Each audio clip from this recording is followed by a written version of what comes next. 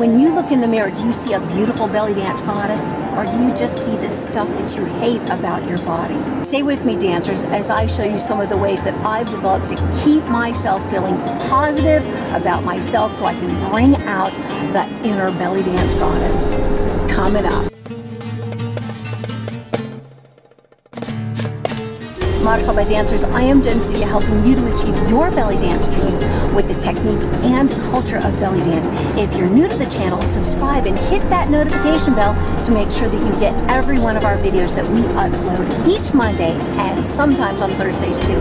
I think most of us struggle with body image and it's ironic because belly dance is supposed to be that dance that welcomes all bodies. I think having a negative body image about ourselves is the one thing that can kill our dance and the joy in our dance faster than anything else, even over timing, posture, technique. We look in the mirror and we don't see the person who that we want to be or think that we should be. And I think that's one of the biggest things that keeps us from truly bringing out the beauty inside when we are belly dancing. And so I felt the need to make this video for you because I've gotten so many emails from dancers who have attended workshops or subscribers like yourselves who have written to me and said, you know, I struggle with this because I don't feel good about my body. In my opinion, the point of belly dance is to bring out the joy in music and and the bring out the joy in what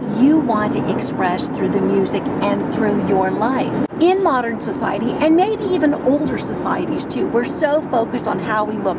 We want to be beautiful, we want to be attractive, we want to be sexy, we want people to love us. Sometimes when there's an issue that seems impossible to overcome, like overcoming a negative body issue, it's so esoteric, it's like, where do we even start?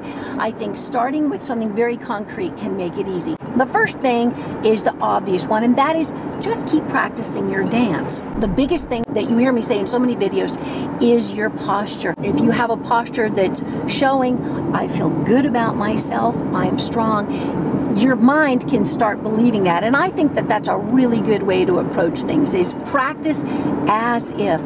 Practice as if you have a great body image. And that can start to train your brain, hey, I look pretty good. Now, at first, if you don't, you kind of have to fake it at first until you actually you start to believe what your body is telling you. It's New Year's 2019 when so many of us set great resolutions for ourselves. I'm going to get in shape. I'm going to learn to be the best dancer. And sometimes our goal, we're, we have such good intentions, but we might be setting goals that are so difficult to attain, especially since most of us are our own worst critic and we look in the mirror and see somebody who's way fatter than we actually are, way more wrinkly than we than other people perceive us to be.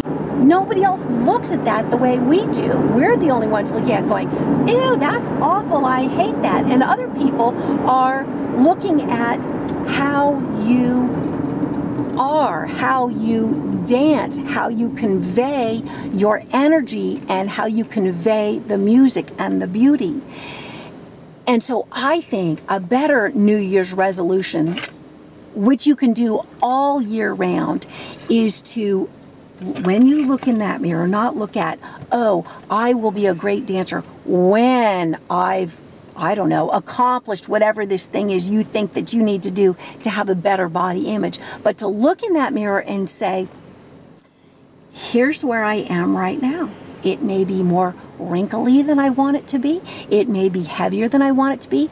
Uh, I might be skinnier than I think a belly dancer should be, whatever that is. But to look in that mirror right into your eyes and say, this is where I am right now. This is what I want to give when I dance. I want to give the joy that's inside of me. I want to give the beauty that's inside of me. I want to bring that out with my music. Where I am right now, maybe in six months I will be, um, well, I doubt I'll be less wrinkly. Um, and maybe you won't be as skinny as maybe you think that you should be. Maybe you won't have attained the body shape that you think that you should have. But the point of belly dance is to bring out the beauty of you as you are right now with the music. That's the irony, I think, of so many of us belly dancers who have body image is that this is a dance that's touted to be open to everybody, no matter what age, what size, what gender, what, how hairy you are, how skinny or fat you are. And yet so many of us think that, oh, we have to look like that dancer. I mean, YouTube itself is hundreds, thousands of videos of dancers who look, you know, it's like you look at them and they look like they have per perfect figures. One of the big issues that I struggle with is this this little chicken neck here. And I know that that's only going to get worse every year. There's wrinkles, there's gray hair, and I think, oh my God, are people really going to want to see an old belly dancer? So I struggle with those issues constantly. Every time I go on stage, I think, should I be doing this still? Now, that may not be your issue. You may be a good deal younger than me, but you may have an issue that is, um, which is a common one today, is you feeling like, oh, I'm a little bit too fat to be doing this. Each culture has its own idea of beauty. Each era has its own idea of beauty, and each one of us individually has our own idea of what is beautiful. And I think also that most of us tend to be way harder on ourselves than anybody else.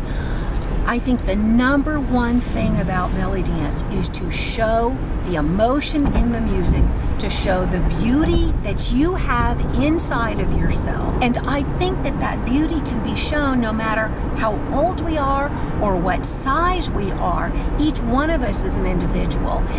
And rather than focusing on the thing that so much of our society focuses on, because there's so many products and stuff to be sold, I think is is that if we focus on how we feel about the music and what we love about the dance, I think that that is far more important. But how to do that, that's the really hard part because we have these images in our heads of being this beautiful goddess and we dance it and then if we see a picture of ourselves that maybe somebody caught at a bad angle or or maybe our skills aren't really where we want them to be yet so we're caught in poses that don't look as great as they probably will be in the future as you gain more skill.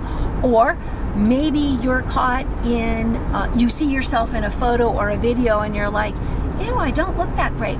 Well, maybe your skills in costuming aren't where you would like them to be, and so you look at yourself critically. The beauty that you have inside is in you. The things that and the, the thing about belly dance is how to bring that out to do that, you have to, first of all, you have to be willing to be vulnerable. You have to be willing to look not as great as you want to look as you're building the skill to bring that out. It is putting your makeup on is a skill, costuming is a skill. The actual techniques and moves are skills. As you learn those and get better at those, you will be able to portray to your audience, whoever that is, whether it's yourself looking in the mirror or uh, at a party or on a stage or whatever, you will be able to portray that inner beauty as you build the skill in how to show that. That takes a long time. You can learn a few moves in belly dance pretty quickly, but to really be able to relax and show the the, the emotion in the music, it takes a lot of skill. In the meantime, here's what I want you to do. Don't beat yourself up. Look in the mirror and say, you are a beautiful belly dancer. Maybe you don't have as much skill yet as you're going to have in the future.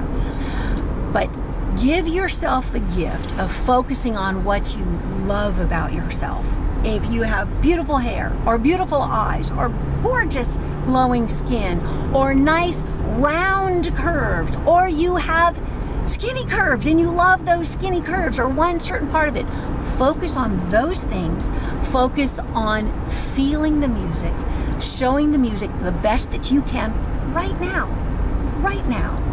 Not how you think you should look, not comparing yourself with a dancer who's danced for 10, 15, 20 years if you haven't danced for that.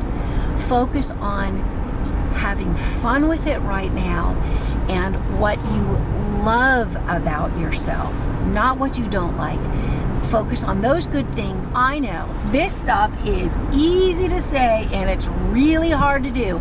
I struggle with it too. My weakness is these little flaps right here. I call them my little chicken skin flappy neck.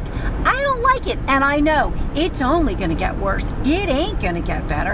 And I'm not the type of person who's going to go and get surgery. So every once in a while I just hold it back like that and I try to focus on and I try to focus on, you know what? I love to dance. It's I feel fabulous. I want to show that joy in my head. My neck still looks 22. And so just bring the beauty of the music out. Have fun with people because you know, I say it every time. We're all going to be dead soon. So why focus on the awful stuff? Focus on the fun and the beauty and the joy in building your skill one move at a time. Okay, dancers, if you found some value, smash the like button. Leave a comment for me of what's that thing that you're going to focus on positively in 2019 so that you can bring out your beautiful inner dancer. And what to watch next, you can do the video on, oh my gosh, no one's watching my show as we're on our way to Alfredo's right now to do our show. Or you can watch the time lapse of me putting on the makeup going from old and gray to Billy Dance Goddess. Okay, masalama, see you on the next video.